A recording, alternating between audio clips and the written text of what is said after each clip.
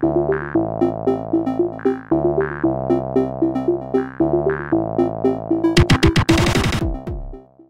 good morning, all. This morning we have the pleasure of going through the topic of rickets. So, rickets is a paediatric disorder that's characterized by deformity and growth restriction. It, the word comes from the German ricken, meaning twisted, and historically it's been considered the English disease. This uh, chap on the right hand side of the screen was one of the first to describe it in 1600s in England. I think he um, gained inspiration from his own mutton chops in uh, using lamb's wool ligatures to try and correct the, the deformities. Um, so, as we know, it's from prolonged vitamin D deficient, deficiency that leads to defective mineralisation of the growth plate, cartilage, and bone. It's no longer a disease of the past, with the national incidence uh, in Australia now up to 4.9. Uh, as of 30 years ago, it was uh, about 3 per 100,000. And in developing countries, it's one of the most common non communicable diseases. Uh, so, vitamin D metabolism is not quite as difficult as this graph makes it look. Um, so, essentially, 7 dehydrocholesterol in the skin um, is transformed by ultraviolet light into cholecalciferol, which is vitamin D3. The liver then transforms it into calcidiol, um, and then it's further activated by 1 alpha hydroxylase into the most active form of calcitriol. So problems at any of these stages can lead to vitamin D deficiency. What does vitamin D do? It's an important regulator of calcium and bone homeostasis. In the small intestine, it enhances calcium and phosphorus absorption. It decreases calcium and phosphorus, phosphorus resorption uh, from the bone, and it prevents calcium and phosphorus being excreted from the kidney. So, as you would expect in deficiency, um, it does the opposite and decreases calcium being absorbed in the intestine and causes a compensatory increase in parathyroid hormone and bone resorption to try and maintain circulating calcium. There's been quite a lot of talk recently about what vitamin D deficiency actually is and what number we call vitamin D deficient. Uh, the absolute limits are still controversial. Um, most people use uh, 25 hydroxy vitamin D as the most appropriate marker of vitamin D status. That's because it's the vitamin D uh, subtype with the longest half-life. Generally, serum 25 hydroxy vitamin D of less than 25 is considered to be at a level uh, that's likely to increase the likelihood of rickets, and uh, 25 hydroxy level less than 50 um, represents insufficiency. Number of causes for vitamin D deficiency rickets, of which prematurity is one. Um, however, maternal vitamin D deficiency is probably the most significant uh, in the younger age groups um, because fetal vitamin D is acquired entirely from the mother.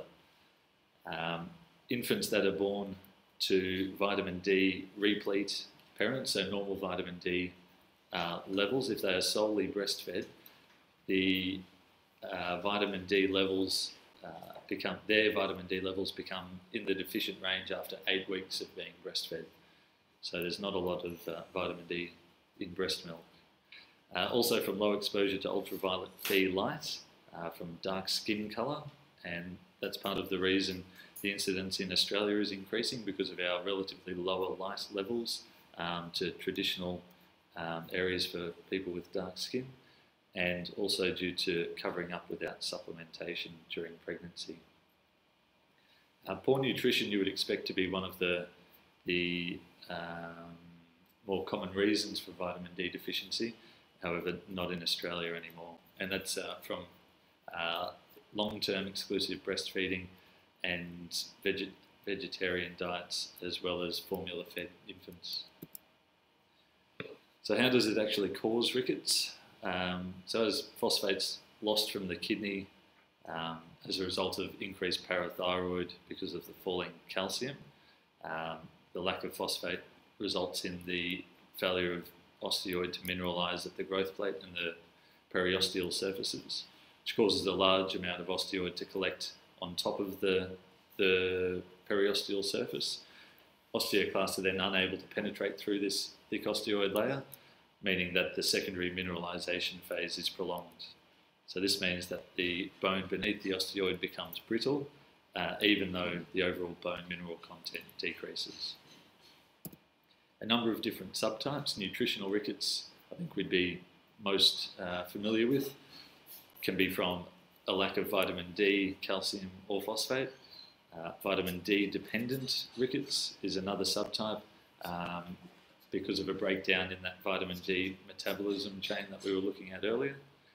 And vitamin D resistant rickets is the uh, final subtype. So familial hypophosphatemic rickets um, is the most commonly encountered form in developing countries. It's an X-linked dominant condition um, and is a result of the impaired renal tubular reabsorption of phosphate. Uh, so when we encounter someone uh, that we are suspicious for rickets, these are the points that are important in history. So diet and sunlight exposure history, family history of short stature, dentition, alopecia, and consanguineous parents, as well as growth and orthopaedic concerns. Should also ask about the signs and symptoms of hypocalcemia, such as muscle cramps, numbness, paresthesia, seizures. So clinical features of rickets are most often seen during periods of peak growth, particularly in the first two years of life, but also during the adolescent growth spurt. Um, most often, or sorry, more clinically obvious is the bowing of long bones. Um, can also see codfish vertebrae, which are biconcave vertebrae on imaging, as well as dorsal kyphosis. May also present with gait disturbances and the enlargement of the costochondral junction, which is the rachitic rosary, which is uh, often seen in textbooks. They are also known to be have growth restriction. In general, adults who have had uh, rickets uh, rarely make it over five foot of height. um, also have uh, a higher incidence of dental disease and uh, pathological fractures. So the image on the right here is what's known as a Looser's zone. So it's a, a pseudo fracture on the compression side of the bone. So this is a list of the investigations that are recommended um, in the workup of vitamin D deficient rickets or any rickets. So baseline serum calcium, phosphorus, ALP, parathyroid hormone, urea nitrogen, creatinine, and 25 hydroxy vitamin D. Uh, and that's because 25 hydroxy vitamin D is uh, the best indicator of the overall vitamin D status. Also useful looking at uh, the urinary levels of calcium and phosphorus for their increased excretion. So after doing all of these tests, uh, if a case is confirmed uh, to be as a result of nutritional rickets, the findings that you would see are lowered levels of serum calcium, phosphate, vitamin D subtypes, and urinary calcium, but you'd see an increase in parathyroid hormone, ALP, and urinary phosphorus.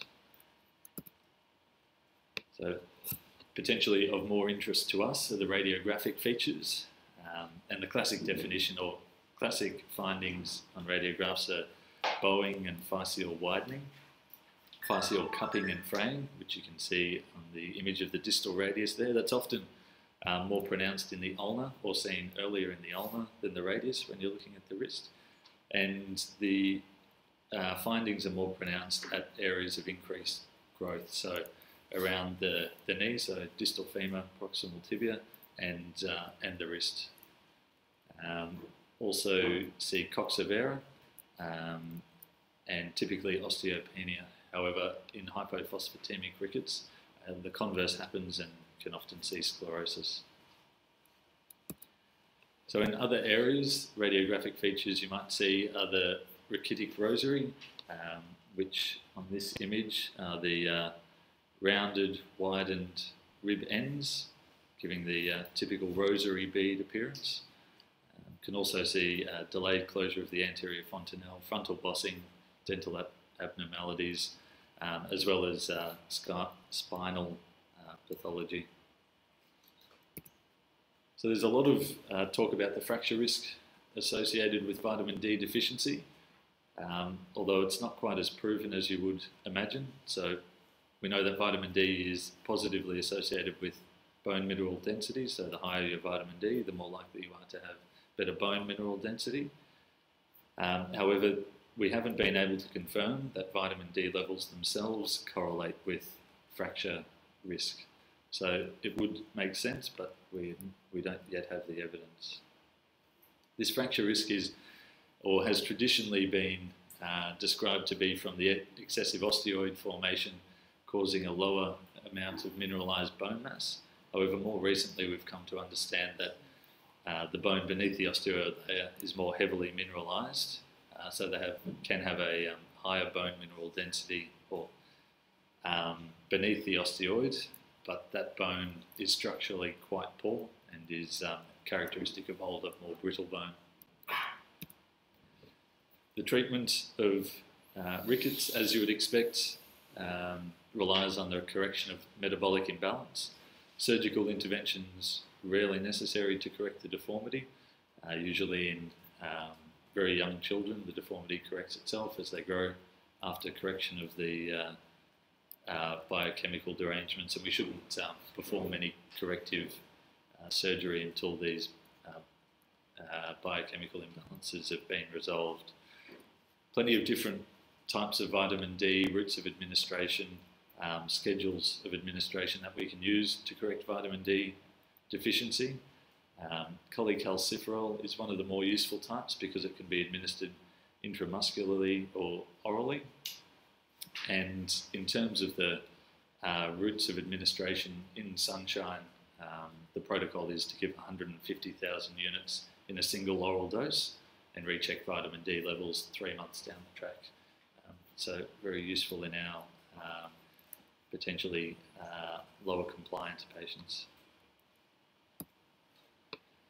So after treating vitamin D deficient deficiency rickets, you can see radiographic changes within a week.